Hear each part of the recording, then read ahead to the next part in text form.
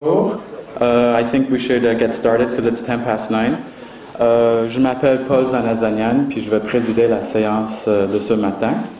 Euh, pour ceux qui me, ne, qui me ne connaissent pas, je suis euh, un ancien étudiant de, de, de M. Letourneau. J'ai effectué un postdoc avec lui.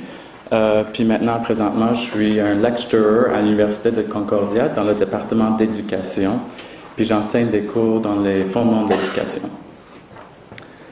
Uh, good morning. For those who do not know who I am, which is probably 99% of everybody in the room, uh, my name is Paul Zanazanian, and I'm currently a lecturer at Concordia University in the Department of Education in the Educational Studies program. I also uh, did a postdoc with Professor Letourneau, and I still work with him. I still collaborate with him, so it's an ongoing process, and I'm really, really excited to be working with him.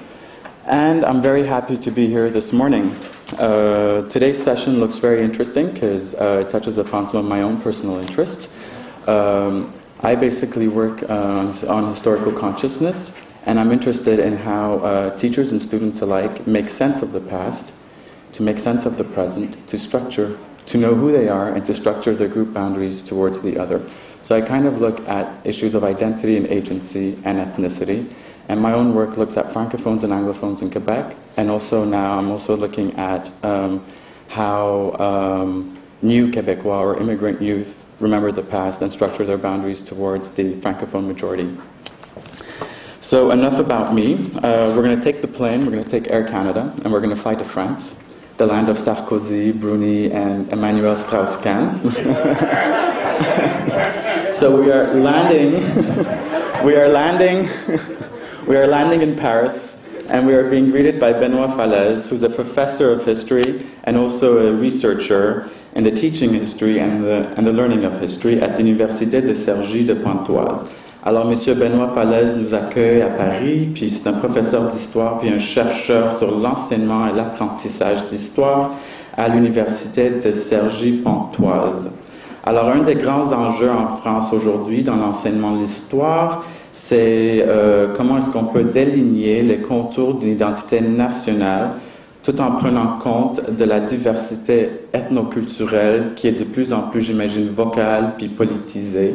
Euh, puis euh, aujourd'hui en France, depuis un petit moment, c'est sûr, il y a un intérêt à attacher un sentiment civique à la nation, à la nation, mais il y a des questions quand même qui se soulèvent.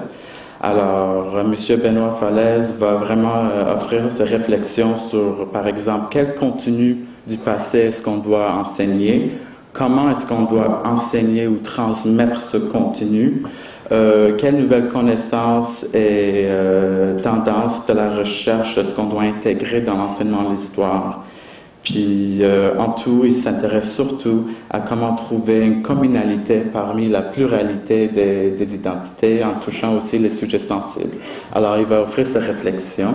In a nutshell, Professor Benoit is interested in, in basically, he's going to share his reflections on um, how one can find a certain commonality among the plural, plurality of identities in France through history teaching.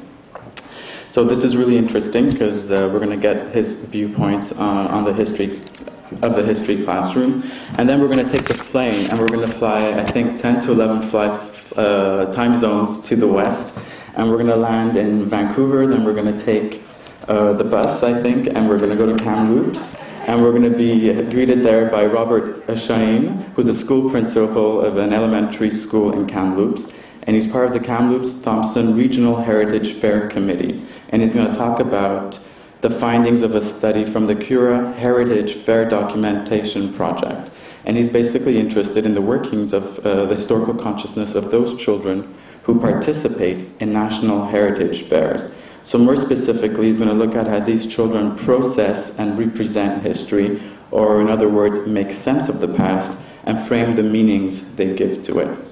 So, um, I'm really happy to be here, and uh, I will start. I will be somewhat strict with the timing to offer the public a chance to ask questions and to share the joy. Okay, thank you. Mesdames et messieurs, euh, Jocelyn, je, je, souhaitais te remercier, mais avec la présentation de ton ancien étudiant sur l'identité française universitaire, je me pose la question de savoir si c'est un piège. Euh, mais merci, euh, merci Jocelyn infiniment de ton invitation et de ta confiance. Merci aussi de ta disponibilité dans les travaux français. Euh, et merci aussi d'avoir accordé une matinée dans ce colloque à, la question scolaire, car s'il y a bien un endroit où le passé est très présent, c'est à l'école. Et il est présent par les textes qui encadrent l'enseignement de l'histoire et organisent son enseignement, par ses manuels dédiés et par la place qu'elle occupe dans un emploi du temps d'élèves, très concrètement, ça prend deux heures, trois heures, ça dépend, et de l'école primaire, c'est-à-dire depuis que les enfants ont 7 ans jusqu'à 18 ans. Il y a donc une forme spécifiquement scolaire de l'usage social de l'histoire, un usage singulier et massif, tous les élèves d'une même classe d'âge y passent obligatoirement. Et évidemment, ce qui va nous retenir ici, c'est la manière dont les enseignants euh, du primaire et du secondaire engagent leurs élèves dans un rapport à l'histoire. Alors, l'histoire est aussi très présente dans l'école par les débats publics. Euh, il y a 15 jours de cela,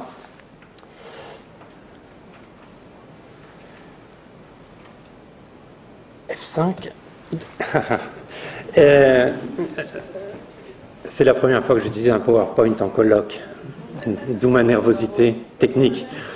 Euh, euh, il y a 15 jours, euh, juste avant de venir, on m'a servi tous les éléments d'une magnifique introduction pour un colloque international sur la question de l'histoire, puisque s'est réuni un débat sur France Culture, c'est encore podcastable si vous tapez France Culture, Radio France, une émission qui a eu lieu et qui s'appelait Quelle histoire enseigner? Et euh, quelle histoire enseigner? Euh, laisser euh, passer le directeur du ministère de l'Éducation nationale, le directeur scolaire du ministère de l'Éducation nationale, un historien qui vient d'écrire un, livre qui est consacré à une autre manière d'histoire, ou plutôt à une autre façon dont on avait d'enseigner l'histoire, qui est une vision clairement au sens propre réactionnaire, c'est-à-dire de revenir à un état euh, passé de l'histoire. Et je vous donne les conclusions très très simplement. Les premières conclusions, c'est qu'on n'enseigne plus l'histoire comme avant, et que ça pose un problème, que euh, la France oublie sa fonction intégratrice euh, des enfants issus de l'immigration, qu'elle ne cherche d'ailleurs qu'à leur faire plaisir en essayant de ne pas les choquer, et avec cette question qui revient sans cesse, où sont nos héros d'antan? Où sont euh, ceux qui nous ont, qui ont bercé notre jeunesse. Il y a donc une tendance très nostalgique dans cette expression d'une histoire euh, scolaire avec euh, une référence qui m'a absolument abasourdi pour tout dire. C'est que un des l'animateur de l'émission en l'occurrence disait vous vous rendez compte on n'apprend plus la bataille des plaines d'Abraham à l'école française et je ne savais pas à quel point euh, en dehors du fait de voir ma communication s'inscrire aussi nettement euh, dans le débat français avec la question québécoise qui ressurgissait, mon calme devenait une personnalité absolument centrale du débat. Je me suis dit, mais au fond, quel passé de l'enseignement de l'histoire, euh, quel, renseignement on peut donner aux gens? Parce que j'ai cherché dans le studio de France Culture s'il y avait des spécialistes de l'enseignement de l'histoire. Je ne parle même pas de moi, mais je n'ai pas, pas, trouvé de Patrick Garcia, je n'ai pas trouvé de Nicole Tutu-Guillon. J'ai cherché et il n'y avait que des gens qui finalement n'avaient pas travaillé sur ces questions. Alors en préalable, je voudrais dire deux choses. D'abord, dans l'ensemble des débats qui touchent à la transmission de l'histoire à l'école, il devrait être obligatoire, comme un préalable à toute discussion, de pouvoir dire ce qui se passe vraiment dans les classes. C'est-à-dire loin des généralités toutes faites. Le débat récent qui parcourt la presse française, et vous aviez juste avant le Figaro magazine qui offrait cette une, cette histoire de France qu'on n'enseigne plus à nos enfants, en fait, c'est un débat récurrent, c'est un débat qui ressort à peu près tous les 30 ans. Euh, au moment de l'élection de François Mitterrand en 1981, la France était soumise à cette question. On n'enseigne plus Jeanne d'Arc à nos enfants. Et mon, intervention ici va prendre appui sur sept années de recherche où je vais me borner, euh, alors non seulement sur les programmes scolaires, sur les manuels scolaires, mais aussi sur les pratiques enseignantes, sur les débats publics qui concernent la question scolaire. Et je vais me borner ici à donner quelques orientations assez générales sur la manière dont l'enseignement de l'histoire est pensé pour construire la conscience historique des élèves. Alors, euh, il faut dire qu'il y a eu un premier temps, c'est dans les années 90, 1990, où des premières réactions euh, d'enseignants un peu inquiets de voir des réactions d'élèves surgir en classe pour contester tel ou tel point du programme ou tel ou tel enseignement. Vingt ans plus tard, il y a un rapport parlementaire. Vous voyez que les choses sont sérieuses. C'est quand même une matière dont on discute euh, au Conseil des ministres et on en parle à l'Assemblée nationale. Euh, un rapport parlementaire, le rapport Accoyer en 2008, euh, était remis avec toute une réflexion sur les rapports entre histoire et mémoire et la place de l'enseignement de l'histoire dans ces rapports entre histoire et mémoire. Et le rapport parlementaire que je viens de citer est ouvert par cette phrase d'Albert Camus qui dit Il est bon qu'une nation soit assez forte de tradition et d'honneur pour trouver le courage de dénoncer ses propres erreurs mais elle ne doit pas oublier les raisons qu'elle peut avoir encore de s'estimer elle-même. Alors on voit bien que cette phrase résume parfaitement le chemin parcouru de la société française, de la reconnaissance de la responsabilité française dans la déportation des Juifs, Vichy, la Shoah, à la volonté aujourd'hui de ne pas transmettre une histoire uniquement tournée vers la plainte, une histoire doloriste, où les victimes et les coupables ne constitueraient plus que la trame visible. Alors j'ai opté pour un plan follement original que je vous propose très rapidement, et je vais essayer d'aller vite, très original, passé, présent, futur. J'ai pensé que ça plairait à Jocelyn.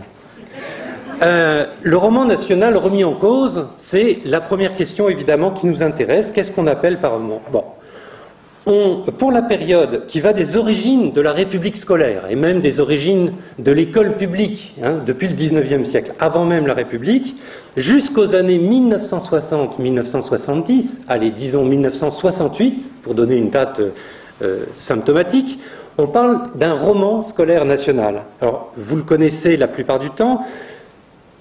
Euh, je, vais le décliner tout, simplement, c'est en pratique une histoire nationale ou une histoire sacrée qui ne s'oppose pas vraiment, avec des, références d'ailleurs à des valeurs chrétiennes très objectivement euh, montrées.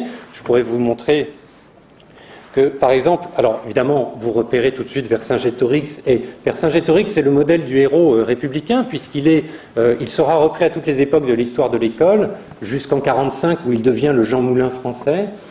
Euh, et euh, Vercingétorix, c'est l'image par excellence, mais on peut aussi avoir un buvard, par exemple, avec Saint-Louis sous son chêne. On sent que la dimension chrétienne est absolument centrale. Le moment républicain, euh, pour Antoine Pro, est indissociable en histoire de la géographie scolaire. En même temps qu'on circonscrit l'histoire nationale, on circonscrit sa géographie. Et Pro rappelle aussi que, Antoine Pro rappelle aussi que l'enseignement de l'histoire n'a pas pour objectif de proposer une analyse scientifique. C'est plutôt, il le dit clairement comme Ernest Lavis le dit, c'est pas seulement apprendre par cœur, mais c'est apprendre avec le cœur cette histoire. C'est donc une histoire euh, légendaire avec des grandes figures. Euh, on l'a vu. Celle-ci, vous la connaissez aussi, Jeanne d'Arc, Saint-Louis, mais aussi des savants comme Pasteur, qui est la figure par excellence.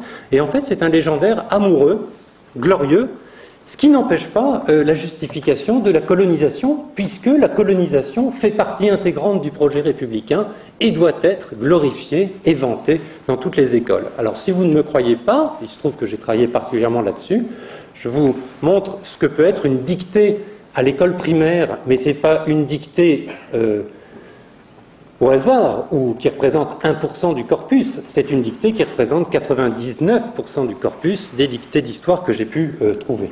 Donc de Paris, vous voyez, c'est une dictée, euh, il faut absolument construire dictée de géographie. On mélange le français, contrairement à ce qu'on croit, on n'apprend pas le lire, écrire à l'école primaire euh, indépendamment des autres disciplines, on donne du sens toujours à la lecture et à l'écriture. Et vous voyez le genre de... Voilà, alors, exemple, Beaune, ville épiscopale de Saint-Augustin, Tunis, en approchant de Tunis, l'ancienne Carthage revient à mon esprit, je songe aussi à Saint-Louis qui est venu mourir sur cette plage. Ou alors, une autre dictée, euh, après trois années de marche, je me trouve, moi, français chrétien, au milieu de Kérouan, la ville sainte des fanatiques musulmans. Il y a donc une sorte de discours qui nous fait sourire aujourd'hui, mais qui est une sorte d'implicite républicain et scolaire, qui fait que le roman national s'inscrit dans un rapport à l'autre terriblement connoté, aujourd'hui on dirait terriblement connoté, mais absolument normal, avec une distinction des différentes tribus, euh, des différents peuples euh, colonisés.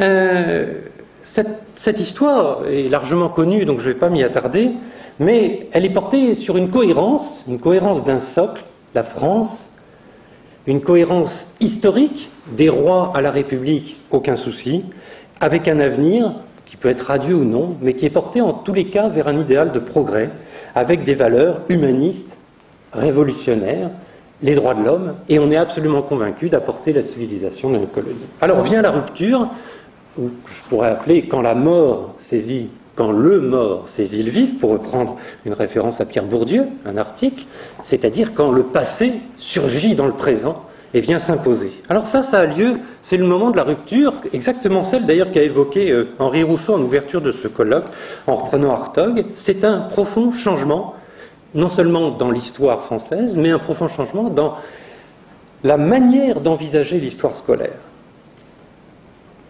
Un peuple qui n'enseigne pas son histoire, disait François Mitterrand, est un peuple qui perd son identité. Il y a là tout de suite quelque chose qui se joue entre l'identité et l'histoire. Et en ce sens, cette période des années 70-80 inaugure une nouvelle séquence de l'enseignement de l'histoire à l'école que je vais essayer de décliner. Alors d'abord, il faudrait dire pourquoi, qu'est-ce qui se passe? Ce n'est pas 1968 et les barricades qui provoquent ça. C'est un mouvement global de société. On pourrait dire euh, d'abord un, tournant mémoriel, les débats autour des questions de mémoire, euh, la découverte, entre guillemets, de la Shoah et de la responsabilité française dans la déportation. On pourrait rajouter la décolonisation, la perte qui commence à être assumée de l'Algérie. On pourrait expliquer aussi euh, comment la société française progressivement va essayer de voir le dedans de l'école pour essayer de comprendre comment concrètement cette histoire peut passer ou peut ne pas passer, et puis aussi les démarches pédagogiques. C'est le début d'un renversement des valeurs à l'école, où le côté transmissif est remis en cause. Il y a donc toute une agitation intellectuelle, et l'histoire scolaire est sommée de dire, très vite, l'histoire scolaire va être sommée de dire la dette, une reconnaissance de l'humiliation. Et c'est une véritable rupture avec un symbole, si vous voulez, que certains connaissent ici, c'est le livre de Suzanne Citron, le mythe national, le titre dit déjà les choses. Et depuis, alors si vous rajoutez à cela les lois mémorielles en France, on voit qu'à chaque question historique que la société française se pose, elle se tourne vers l'école dans un rapport du type qu'est-ce que fait l'école et que font les enseignants sur ce sujet? Alors il y a plusieurs choses, je l'ai dit, qui s'entremêlent. La décolonisation. Il y a aussi un autre événement dont je vais parler tout de suite, c'est la fin des regroupements familiaux des enfants, des travailleurs immigrés déjà installés en France, dans le travail, dans les usines. Et dès lors, les, enfants d'immigrés investissent l'école publique massivement dans les années 67-73, à peu près, 74, euh, où il faut les scolariser, il faut les prendre en compte. Alors le travail qu'on mène en France sur l'enseignement des sujets sensibles euh, s'inscrit dans, les questions socialement vives, c'est euh, la, terminologie qui est utilisée. Et on a abordé toutes les questions qui tournent autour de l'enseignement de la Shoah, l'enseignement de la colonisation, on a même vu la question arménienne, et on sait que, on a pu voir que le discours de la mémoire prend dans l'école une place singulière, mais aussi partout en Europe et, à mon avis, partout en France, euh, dans le monde, pardon. Et on voit comment les débats publics contemporains, principalement en France, sont euh, littéralement envahis par la question scolaire. Alors il y a des difficultés que je vais énumérer très vite. Quelles sont les difficultés concrètes que pose l'irruption du tournant mémoriel dans les classes? Première difficulté, elles sont académiques, scientifiques. Il faut des contenus et des savoirs de référence c'est-à-dire qu'il faut des thèses universitaires, pas seulement des thèses universitaires, mais des thèses universitaires vulgarisées à des étudiants qui, une fois devenus professeurs, pourront les enseigner. Et on s'est rendu compte que ce qu'on appelle ici dans le monde anglo-saxon les colonial studies était très peu développé en France. L'enseignement de l'histoire de la Shoah est un des parents pauvres de l'université française. Toute une série de sujets sensibles saisis dans la société française étaient finalement peu connus scientifiquement. Deuxième difficulté, les difficultés didactiques. Je les énumère vite. On est, vous le sentez bien, dans un registre beaucoup plus émotionnel. Et ce n'est pas une émotion positive de Vercingétorix qui fait rêver, c'est une émotion plutôt négative de la souffrance et des victimes. Et évidemment, il faut gérer cette question de souffrance et cette question en classe. Euh, il y a aussi euh, un récit national qu'on connaissait par cœur, de Vercingétorix euh, à De Gaulle, ben, on sait qu'on ne peut plus le faire pareil, mais par contre on le remplace Et là, évidemment, il y a une difficulté très concrète. Et puis il y a aussi le fait que les élèves, parce que les élèves deviennent insupportables, ils se mettent à donner leur avis dans la société française, et ils donnent leur avis même en classe. Et même, ils arrêtent le cours pour dire qu'ils ne sont pas d'accord. cette mutation, alors ça a toujours existé, hein, je vous le dis, mais simplement ça a pris d'autres formes. Mais évidemment, les réactions d'élèves sont prises en compte, et notamment dans les années 90, le thème qui arrive, c'est les enfants issus de l'immigration, tout ça entre guillemets, les enfants issus de l'immigration maghrébine interrompent les cours sur la Shoah pour parler du conflit israélo-palestinien. Donc on a, on rentre là dans des concurrences mémorielles, l'école française est saisie, littéralement saisie. Et puis il y a des difficultés de prescription, le curriculum lui-même, je n'insiste pas, mais il faut refaire les programmes, et on les refait de plus en plus depuis 20 ans, 30 ans.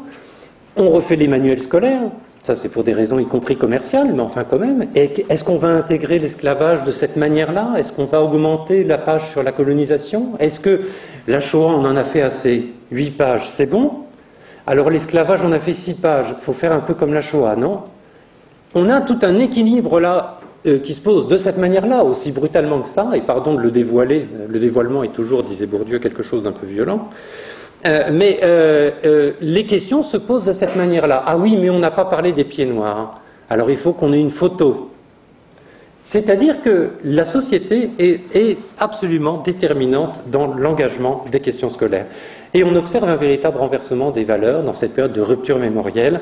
La souffrance, les victimes sont au cœur de l'enseignement, ou le deviennent. Leur histoire est d'autant plus digne d'intérêt qu'elle interroge les pages noires de l'histoire nationale, et certains y ont vu, bien évidemment, une histoire compassionnelle en lieu et place d'une histoire scientifique adossée sur des critères stricts. C'est la morale qui devient le moyen de dire l'histoire. Et je voudrais donner un exemple très concret euh, parce que je sens que le temps avance trop vite, euh, c'est euh, le, sujet de l'histoire de l'immigration. Alors, je, l'aborde très vite parce qu'en plus, il renvoie à des questionnements canadiens et québécois. Euh, le sujet de l'enseignement de l'histoire de l'immigration s'est heurté longtemps à quatre handicaps majeurs que je vais citer. Le premier handicap, je l'appellerai celui de l'illégitimité. Je fais référence là aux travaux d'Abdelmalek Sayad. C'est un sujet qui fait partie de ces sujets illégitimes de l'histoire de France. C'est-à-dire que euh, c'est difficile de prendre cette différence irréductible des étrangers venus en France euh, sans avoir à l'idée que les immigrés font partie de l'histoire commune nationale. Il y a là quelque chose qui est illégitime et qui se revoit dans l'université, puisqu'il y a eu très peu, longtemps, des travaux sur la question de l'histoire de l'immigration. Il a fallu attendre Gérard Noiriel, Yves Lequin, toute une série d'historiens, mais seulement dans les années 1980. Deuxième thème, le terme de communauté. Euh, la manière dont la communauté historique en France perçoit l'histoire nationale. Toute la tradition de l'histoire nationale française euh, a été souvent, longtemps, une nation, une conception inscrite dans la conception brodélienne de l'histoire, c'est-à-dire une conception où finalement, reprenez l'identité de la France, ce livre fameux de Brodel, où il n'y a rien sur l'histoire de l'immigration. Absolument rien. C'est une sorte, troisième terme, d'impensé c'est un impensé de la société civile, un impensé de la société scolaire, jusque dans les années 80. Et alors, c'est un impensé qui est d'autant plus problématique quand il rejoint un autre impensé, qui est l'impensé colonial, puisque sont scolarisés dans les écoles françaises plus de 70% d'enfants qui viennent d'une histoire liée à l'histoire coloniale. Donc il y a un triple impensé, si vous voulez, dans cette, dans cette affaire. Et puis il y a le contexte, qui est un handicap majeur en France, c'est la manière dont on parle médiatiquement, massivement, des enfants issus de l'immigration. Et d'ailleurs jusqu'ici, puisqu'on m'a parlé des émeutes qui avaient eu lieu en France récemment, ou en tous les cas il y a quelques années. Alors, évidemment, le regard porté sur les enfants issus de l'immigration à l'école, eh ben, ça se joue dans toutes les enquêtes qu'on a pu faire, et on se rend compte d'une chose qui est absolument saisissante, qui est liée à tout ce que je viens de dire précédemment, c'est la question du flou lexical, c'est-à-dire qu'on ne sait pas parler de ces enfants. Comment dire Comment parler des enfants qu'on a en classe? Ah oui, je vais faire l'histoire de l'immigration parce que j'ai des enfants qui sont euh, maghrébins, euh, musulmans, euh, issus de culture musulmane, issus de culture maghrébine, issus de l'immigration. On sait, alors que 95% des enfants sont français à part entière. Il y a une sorte d'indétermination dans, la désignation même de ces populations et de ces élèves qui pose un problème évidemment majeur. Alors, je pourrais, euh, mais je vois que le temps manque, donc je ne vais pas insister. Massivement, les enseignants euh, confèrent une importance marquée pour l'apprentissage à la citoyenneté et le cours de, euh, le cours de ah.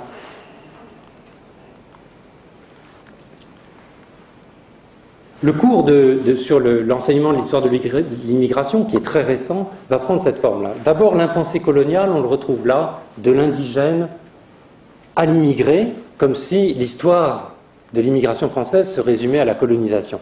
Deuxièmement, l'histoire de l'immigration est très peu faite, elle est faite dans les autres disciplines, elle est renvoyée à la géographie, à l'éducation civique. Et là, on le voit, voilà le type de photo qu'on a dans les manuels scolaires pour parler de l'immigration, de l'histoire de l'immigration. Ce qui évidemment pose un problème majeur. Mais quand même, sur 50, euh, sur 50 euh, plus de 50% des documents, nous avons analysé 245 manuels scolaires sur 15 euh, ans, sur plus de 50% des, euh, des, documents photographiques où il est question d'histoire de l'immigration, c'est pour euh, ce qui est notre fierté nationale, évidemment. C'est-à-dire que le sport, le civisme vient remplacer toute réflexion historique préalable, avec une petite nuance, c'est qu'il est toujours rappelé en géographie ou en, éducation civique que la France est un pays d'asile, est un pays d'immigration de tout temps.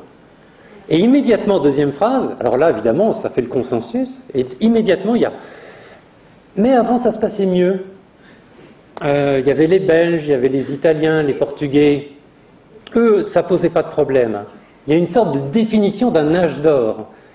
Et bizarrement, les problèmes arrivent après les années 60. Et on voit bien comment, dans l'écriture même du texte euh, du manuel, la question du colonial et vous vous souvenez de la dictée qu'on a vue qui était de 1893 Peut-être la question du statut de l'islam et des musulmans en France continue à s'inscrire en creux dans euh, la mentalité. Alors, je passe au futur, ou au présent qui doute. Je vais essayer de, du passé de présent qui doute, puisque je vois qu'il faut que je, je, quitte maintenant. Ah oui, il y a aussi, si je vous montre ça, parce que je vais passer trop, trop vite. Voilà une exposition qui a eu lieu ça, c'est pour dire la dette, la reconnaissance. À Nantes, on s'occupe d'enseignement de l'esclavage et on veut absolument. Voilà, ça, c'est une tasse qui est faite en papier crépon, vous savez, mais qui est à taille humaine. Hein. Donc, il y a toute une exposition qui est faite. On a euh, une tasse à café. Hein. Chaque tasse de café sucré contient quelques gouttes de sang. Un travail pédagogique absolument remarquable, remarquable en temps, en énergie dépensée et tout, mais qui peut déboucher évidemment sur des choses qui peuvent être absolument incroyables. Euh, je me suis posé la question en regardant euh, cette exposition de me dire est-ce qu'on aurait osé la même chose sur la Shoah? C'est-à-dire est-ce qu'on aurait osé une scénographie ou une mise en scène artistique et historique de cette nature-là? Il y a quelque chose, alors, bon, anecdote pour anecdote, il y avait un enfant noir dans cette salle et la maîtresse disait Ah oui, mais il était tellement fier de travailler sur cette tasse. Mais je ne voudrais pas donner une image trop doloriste de l'enseignement. Il y a un vrai travail d'histoire qui peut être fait dans d'autres classes, dans d'autres recherches. Donc voilà. Et puis, je voudrais dire aussi qu'on mésestime les anticipations dans le curriculum. Les, programmes ne changent pas forcément, mais par contre, les manuels progressivement peuvent, euh, euh, peuvent euh, évoluer. Et là, je vous ai mis simplement comment, sur la question de l'esclavage, les on voit qu'en 1998, il n'y avait qu'un seul manuel sur six qui mettait une double page. La double page, c'est la consécration mémorielle en France. Hein. T'as ta double page Oui, je l'ai. C'est bon. Ma mémoire est reconnue. Je me sens pleinement valorisé et dans mon côté victime, évidemment. Donc, 1998, qu'un seul manuel avait une double page sur l'esclavage. 2002, 2003, euh, deux et regardez aujourd'hui. Et on peut faire ça pour tous les sujets. On se rend compte qu'en 15 ans, tous les sujets sensibles de la société française ont obtenu leur double page, avec un paradigme qui est celui de la Shoah, parce que c'est le premier qui a émergé dans la scène politique. Alors, histoire et identité, un présent qui doute, ou l'avenir du passé, et là je vais filer les, métaphores et les jeux de mots, ou la définition d'un futur à construire. Et là, je vais aller vite. L'histoire, c'est le temps, le récit, la vérité comme horizon. Euh, c'est Ricoeur qui le dit. Et je voudrais articuler ce dernier point autour de deux de ces termes, récit et vérité. Le récit, je vais très très vite. On n'a pas réussi ces 20 dernières années en France à l'école à remplacer le roman national par un autre récit intégrateur. C'est un véritable problème. Récit, j'ai dit récit, quand on dit récit en France, et je surveille du coin de l'œil Nicole Tutio-Guillon, euh, quand on dit récit en France, on est tout de suite suspect d'être un vilain patriote qui veut restaurer le roman national tel que je vous l'ai raconté tout à l'heure. Alors non, euh, il est possible, comme le dit d'ailleurs Jocelyn Les Tourneaux pour le Québec, d'envisager de construire une culture commune, partagée et minimale, indispensable au lien social, a fortiori dans des sociétés de plus en plus préoccupées par des enjeux de mémoire et où la conscience nationale est mise à mal par la résurgence de tous les refoulés de la mémoire.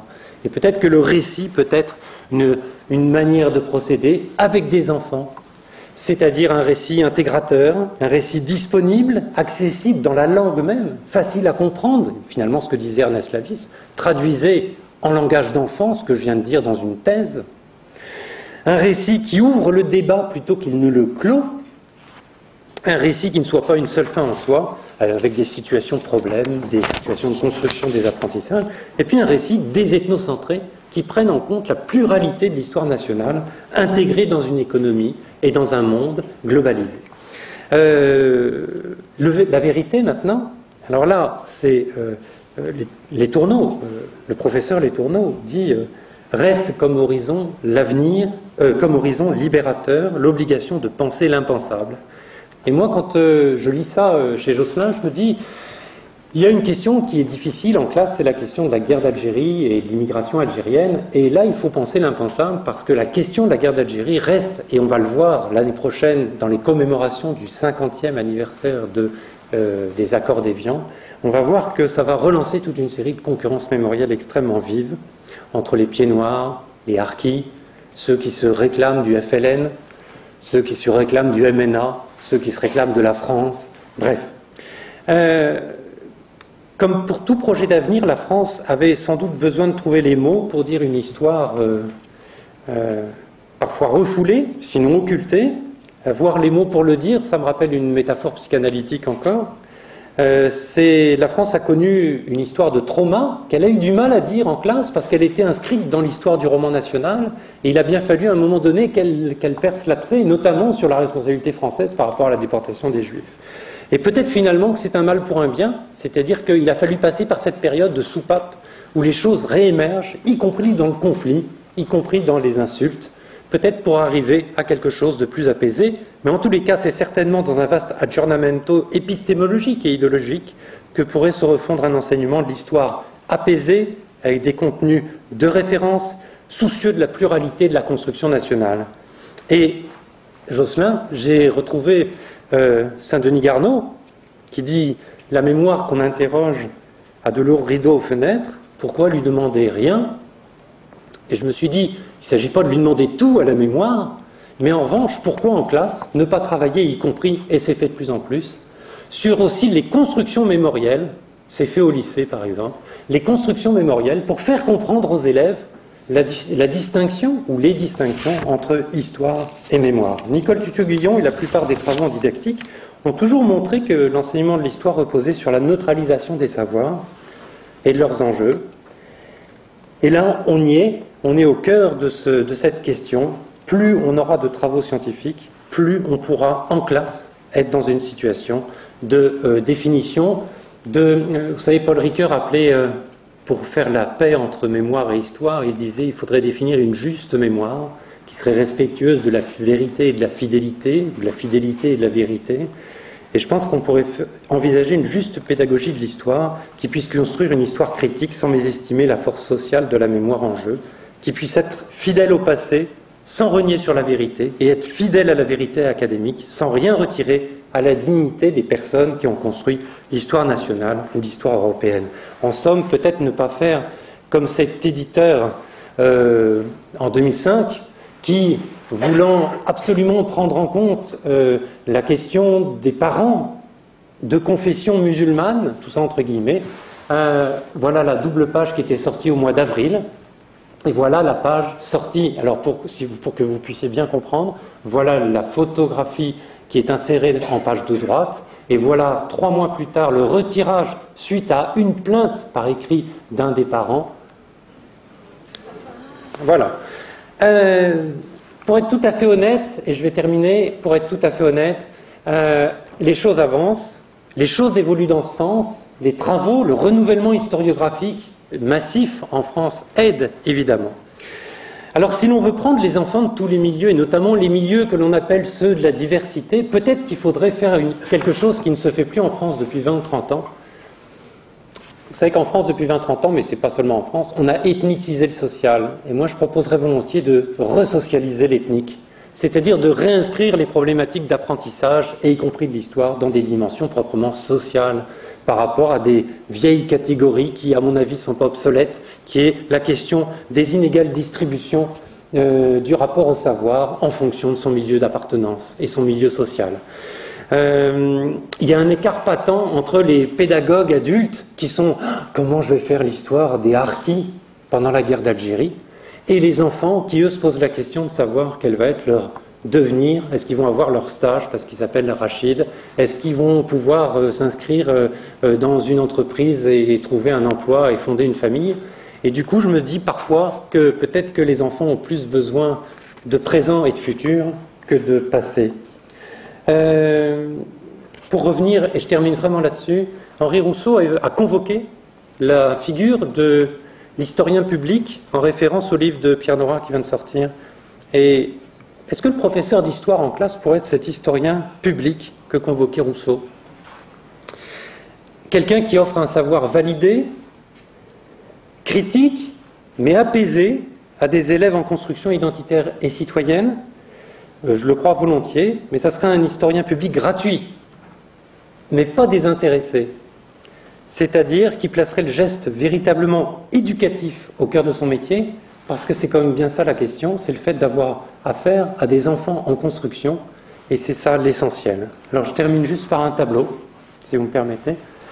Françoise Lanto m'a fait une thèse sur l'enseignement de l'histoire de la colonisation, et elle termine par l'évocation du tableau de Paul Klee, euh, analysé par Walter Benjamin, et j'ai l'impression que c'est peut-être la situation, l'Angelus Novus qu'on va voir ici. Peut-être c'est la situation de l'école française et son enseignement de l'histoire. Alors, je vous lis pendant que vous regardez ce tableau, et regardez-le bien parce qu'il est magnifique. Voilà ce que dit Walter Benjamin. Il existe un tableau de clés qui s'intitule Angelus Novus. Il représente un ange qui semble avoir dessein de s'éloigner du lieu où il se tient immobile.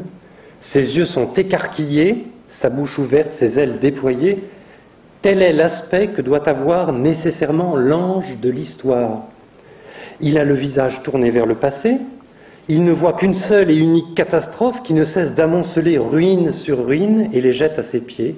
Il voudrait bien s'attarder, réveiller les morts, rassembler les vaincus, mais du paradis souffle une tempête qui s'est prise dans ses ailes, si forte que l'ange ne peut plus refermer. Cette tempête le pousse incessamment vers l'avenir auquel il tourne le dos, cependant que jusqu'au ciel, devant lui, s'accumulent les ruines. Cette tempête est ce que nous appelons le progrès. Je vous remercie.